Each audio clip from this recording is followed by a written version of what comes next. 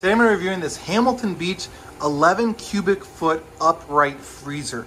Now this is the one that actually has the drawers, which I'll go ahead and show you as well. But there is one downside that I do want to mention here, and that is simply the fact that this door is actually pretty hard to open. As you can see here, I'm pulling and it takes a bit, and that is simply because of the airlock because of the drawers. So it is harder to open. That is something to keep in mind. Now we actually just got this one, so we don't have any food inside of it yet. So once you get food inside, it shouldn't be as difficult, it shouldn't tip as much, etc. around. Now I do love these drawers, so if I have to deal with it being a little bit hard to open, I am okay with that. I absolutely love how much spacious those drawers are, how easy it's going to make um, it to organize everything about this freezer.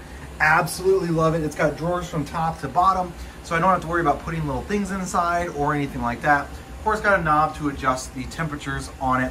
And again, this is the Hamilton Beach model. Now let me go ahead and grab the tape measure and I'll give you the exact dimensions on this. And then the width is approximately 23 and a quarter or so wide. And then deep, it's about 20 22 and three quarters. Now it does not include the handle. And it will add about an extra two inches or so to the depth of the thing I did want to mention about this specific freezer, again, really hard to open. You can see I'm almost tilting it to be able to get it op to open here um, is the fact that if the door is not open all the way, then you might have issues actually pulling out the drawers. However, they do have a good amount of give to them, so that is that's okay with me. But just something to keep in mind if you do have it in a really tight spot, like we do next to the washer here, when the door opens, it's not gonna open all of the way.